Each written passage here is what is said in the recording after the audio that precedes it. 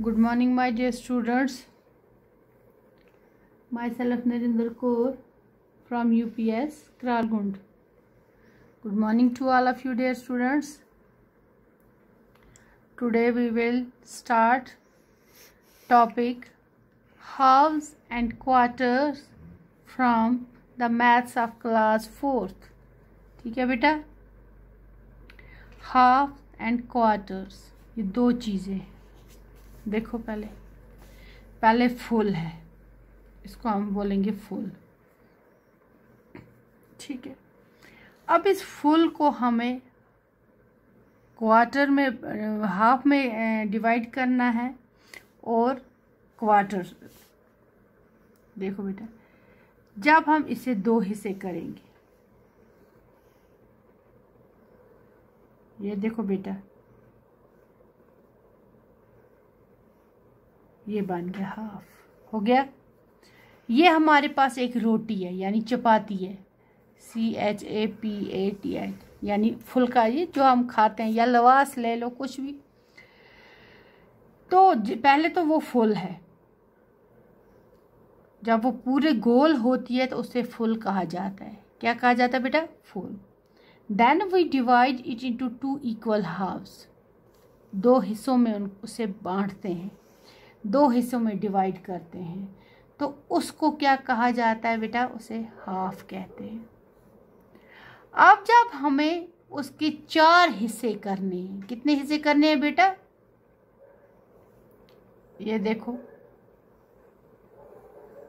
ये हो गए एक, दो, तीन, चार।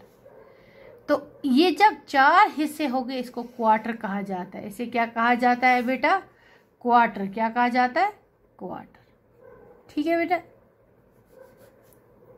ये चीज़ें आपने इसमें याद रखनी है। हाफ़ किसको बोलते हैं? क्वार्टर किसको बोलते हैं? और फुल किसको बोला जाता है? देख लो बेटा, मैंने इस, पहले मेरे पास चपाती फुल थी then I have divided it into then I have divided it into two parts तो ये बन गया हाफ़। क्या बन गया बेटा? हाफ़ ठीक?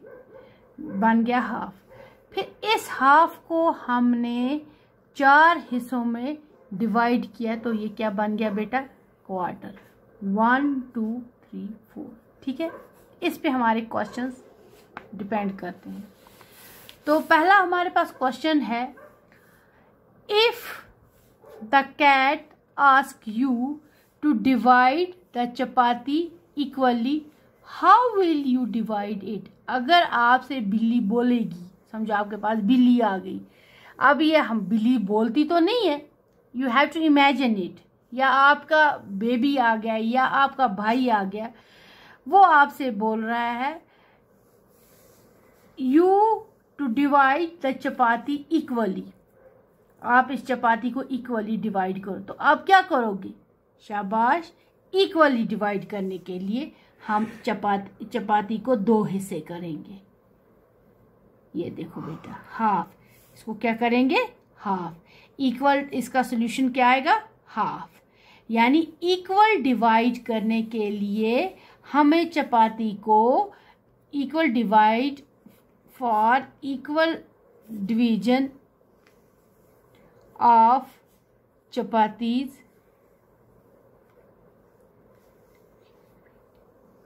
chapati, एक ही चपाती है ना? Equal division of chapati.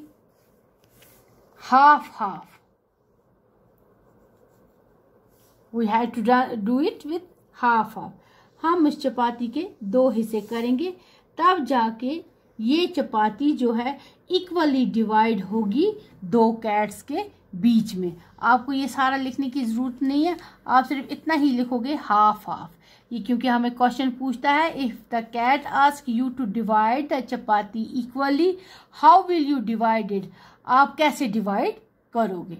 ठीक है बेटा? देन अगला क्वेश्चन क्या बोलता है? If the two more cats आपके पास और दो बिल्लियाँ आ गई। ठीक है? दो और दो बिल्लियाँ, अब कितनी होगी? फॉर पहले क्वेश्चन लिखती हूँ मैं। For food how will you divide one chapati? ठीक है बेटा? इक्वली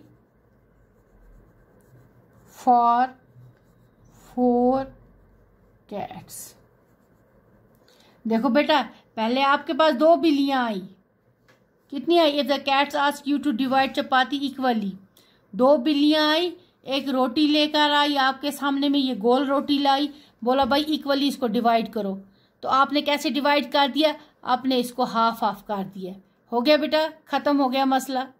हो गया एक क्वेश्चन अब ये बोलता है if the two more cats come for food अगर फ़ूड के लिए आपके पास और दो बिल्लियाँ आ गई कितनी होगी? Two plus two. पहले दो थी, बाद में और दो आ गई तो कितनी हो गई? चार हो गई ना? तो आपको बोलेंगे, आप इनको क्या करो, इन चार बिलियों में इक्वली एक ही चपाती है। मगर ये याद रखना, आपके पास चपाती कितनी है? इक्वल आपके पास एक चपाती है ओनली वन और इस एक चपाती को आपको चार बिलियों में डिवाइड करना है। तो आप क्या करोगे? आपके पास पहले आपने हाफ़ किया था, अब आप इसको क्वार्टर कर दोगे। One, two, three, four. हो गई इक्वली डिवाइड हम हम क्या करेंगे इसको? क्वार्टर क्वार्टर क्वार्टर करेंगे। आ गई समझ? ये था फुल हाफ़ और क्वार्टर का मसला। ठीक है? ये ये अब आपको समझ आ गई कि हमने एक रोटी को कितनों में डिवाइड किया?